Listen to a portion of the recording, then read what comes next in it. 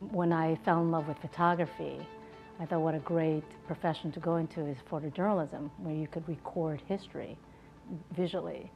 So when I started pursuing photojournalism, went to University of Missouri, um, I thought that's the path I wanted to go to, but then I took a class in photo editing, and that's when I knew that I wanted to be a photo editor um, as a career.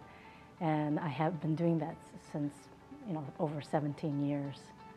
Currently, my role is solely the newspaper. Um, I'm the page one photo editor and in charge of the visuals for national and foreign pages.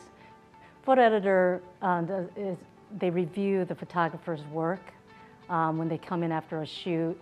Um, sometimes you sit next to them or um, they send you a selected photos and then you pick the photo that you think that um, visually tells the story picking that photo is just has to be storytelling, has to tell the reader in one photo, this is it, this is the moment that captures what happened at any given event. Hi, my name is Kim Chapin. I'm the Page One photo editor. I'm the Deputy Director of Photography, and I work for the Boston Globe.